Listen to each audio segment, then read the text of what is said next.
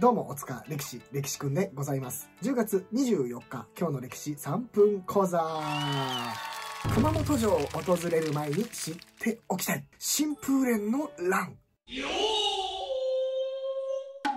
本日10月24日は新風蓮の乱が勃発した日でございます。昨日ちょうど明治6年の政変のことをご紹介しましたけども、政官論を唱えていたグループ、西郷隆盛とか板垣大輔が大久保利道とか岩倉智美に敗れて明治政府を離れた一種のクーデターでしたね。で、その政府を離れた中に江藤新平というのがいて、これが佐賀出身なんですが、地元の佐賀に戻った後に反乱を起こしてますね。これが佐賀の乱ですね。で、その佐賀の乱のようにですね、明治6年の政変以降、不平士族の反乱が各地で起こるんですね。そして熊本で起きた不平士族の反乱がこの新風蓮の乱ですね。で熊本はもともと特に幕末の頃ですね、勤王の志士たちが結構たくさんいたんですね。例えば池田屋事件で新選組に襲撃されて亡くなった宮部定蔵という人物がいましたが、この方も肥後出身ですね。熊本出身で、吉田松陰さんとも交流があって、東北を一緒に旅した人物ですね。あとは川上玄斎という人もいて、この人はあの、流浪に謙信の日村謙信のモデルになった人物という風に言われていいる人人切元斎なんていう異名のある人物ですね。ただこれ以前に明治政府に捕らえられて処刑されてしまってますね。ただそういったまあ勤王の地域柄ということで、明治時代に入っても勤王、強いては上位の考え方を持っている方が多かったんですね。まあ外国は打ち払えという思想ですけども、そういった方々がグループを組むんですね。それが慶神党と言われるものですね。で、この慶神党のニックネームが新風蓮なんですね。なんでそういう風に呼ばれるようになったかというと、明治時代に入ってもなかなか明治政府に使えようとしないわけですね。アンチ明治政府ですんで。それでもう困ってしまいまして、明治政府は、じゃあ神社にお仕えするんだったら、まあ、勤王にも繋がってくるから大丈夫だろうというので、神社の神主さんとかで、神職で採用しようとするわけですね。で、その採用試験の時に、その慶神党の方々は、こぞって天皇の中心の政治が盛んになれば、文英公安の駅、まあ、つまり現行、猛虎襲来の時のように、神風が吹いて敵を一掃するだろうと。まあ、つまり上位が叶うだろうっていう風に述べたらしいんですね。なので、この団体は、本当神風のことばっか言う連中だということで、新風連という風にニックネームが付けられたそうなんですね。まあ、連っていうのは連盟とか連合とかそういった意味合いなんですけども、なので中心人物も神職の方ですね。トップになったのは大田黒智さんという方で、この方は熊本市内の深海大神宮という今もある神社ですけども、そこの神官になってますね。で、大田黒智さんが狩猟ですけども、副狩猟となったのが、茅春方さんという方で、この方も神社の方で、錦山神社というとこの神官ですね。この錦山神社は今も熊本城内に残っている加藤清正を祀る加藤神社ですね。で、この慶神党、通称新風連の方々がこの年出された配当令、皇族とか政府の役人とか軍人、警察官以外は刀を帯びてはいけないという、そういった法令に対して大反発しまして、ついに反乱を起こすわけですね。で、狙ったのはどこかというと、旧熊本城を拠点にしていた熊本鎮大ですね。これは明治政府の陸軍の拠点となってたわけなんですけども、それをこの24日の深夜に襲撃するんですね。で、鎮大だけではなくて、熊本県令の安岡良介という土佐出身の役人の家も襲撃して、まあだから県知事みたいな方ですね。で、あとは種田正明という薩